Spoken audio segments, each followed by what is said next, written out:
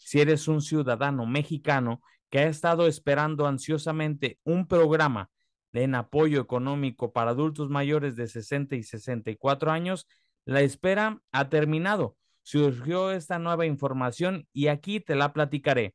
Claro que sí, aquí su servidor Jaime Félix y en nombre de todo el equipo de periodistas de las pensiones Bienestar, vengo en esta nueva edición a brindarte todo el tema relacionado y primero que nada para causarles una tranquilidad absoluta, pero como sabemos antes que nada adultos mayores, y confío en ustedes familia que con tu ayuda podemos aportar bastantísimo, dejando así tu fuerte like al video de aquí tu canal y suscribiéndote a esta tu página de Facebook. Importante que te quedas hasta el final, ¿va? Esto, como sabes, para estar bien informados, siempre haciéndoles una cordial invitación, antes que nada para que primero sigamos trabajando con la famosa regla de tres que tú mismo ya sabes cómo realizar, ¿va? Tu amigo y tu amiga sabes que con esto juntos podemos llevar la información a toda la República Mexicana y que todos sepan primero que nada lo que se aproxima en información detallada de parte de su servidor. Muy bien, iniciaremos con la regla número uno. Le vas a ir dejando tu fuerte like al video. Regla número dos, vas a dejar tu hermoso comentario. El que sea familia es muy importante para mí porque justamente con tu comentario podemos seguir realizando más contenido de suma importancia. Y finalmente, tres, compartir en tus redes sociales, ya sea WhatsApp, Facebook, Telegram, la red social que sea adultos mayores. Tú tienes el poder de difundir toda esta gran información. Vámonos con la información, ¿va? Ahora sí les voy a platicar cómo va a quedar el apoyo, la beca a las mujeres de 60, 64 años. Ya hicimos todos los cálculos para el 2025. Recuerden que es importante que eh, lo anoten porque estuve leyendo algunas notas que eh, a lo mejor no se entendió bien la vez pasada. En las mujeres de 60, 64, les voy a poner las tablas. Estos son tres fuentes de información. En el censo del 2020 eh, se reporta 2.563.200 mujeres de 60 a 64. Los datos de la Comisión Nacional de Población para el 2025, que ya son las estimaciones, estiman 2.914.967.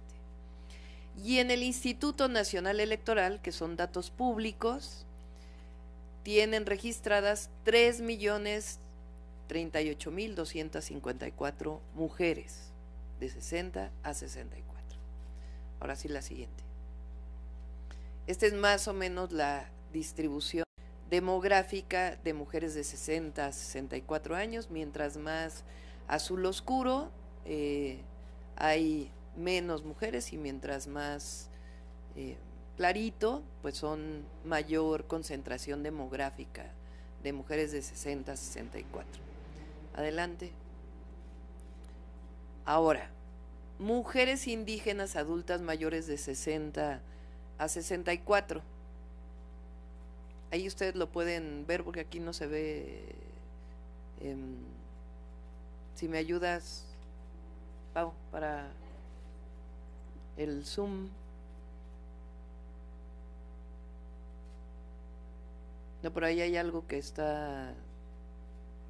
Porque son el mismo número de mujeres. Ah, es el A más B. Ahí está, 162.782, de acuerdo con el censo del 2020 de acuerdo con la Comisión Nacional de Población, 190.268. Adelante. Y de acuerdo con el INE son 178.468.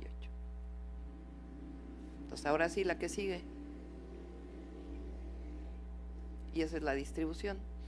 Entonces, ¿qué vamos a hacer en 2025? De acuerdo al eh, a la estimación que tenemos de los ingresos y el presupuesto de ingresos de la federación, considerando todos los programas de bienestar que ya tiene el presidente con su aumento por inflación, etcétera. Los nuevos programas serían, en el caso de mujeres, 2025, universal para todas las mujeres adultas mayores, indígenas o afromexicanas de 60 a 64 años. Eso significa mexicanas que residen en municipios indígenas y afromexicanos. Y por otro lado, tomamos la decisión de que para que sea universal también y no sea por situación económica, lo vamos a dar por edad. Entonces, en el 2025 van a recibir su apoyo las mujeres de 63 y 64 años. Si los ingresos nos dan, va aumentando de acuerdo a la edad. Y ya en el 2026 ya buscamos hacerlo universal, de 60 a 64 años de edad. Entonces, para que nos ayuden a difundirlo, 2025 eh, va a quedar en la Constitución y un transitorio en donde especifique que para el primer año 2025 y en el caso de mujeres, para todas las mujeres registradas como indígenas y afromexicanas, eh, de 60 a 64 y de 63 y 64 años para el 2025, esperando que para el 2026 ya pueda ser universal. 3 mil pesos, poquito más de 3 mil pesos, es la mitad de lo que corresponde a la pensión adulto mayor. Ponemos los tres datos, el anterior, el primero.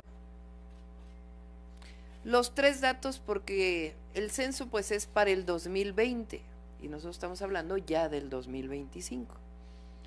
Eh, de acuerdo con la Comisión Nacional de Población, son 2.914.000. Y en el caso del INE, que es eh, el máximo censo, digamos, o el mayor número de personas registradas, es 3.038.000. Eso significa eh, que de 63 a 64, ahí está el dato, estarían recibiendo 1.141.254 mujeres su apoyo en el 2025. Más las indígenas, que son alrededor de 170 mil más. Em, el objetivo es que entre octubre, primero de octubre que entremos al gobierno, a diciembre se haga el registro para que a partir de enero ya estemos distribuyendo las tarjetas del Banco de Bienestar en donde estarían recibiendo sus apoyos. Em, el registro primero se va a hacer un censo casa por casa y después se haría el proceso de registro entre octubre y diciembre para que a partir del primero de enero pues ya tengan su tarjeta de bienestar y ya puedan estar recibiendo su apoyo bimestral.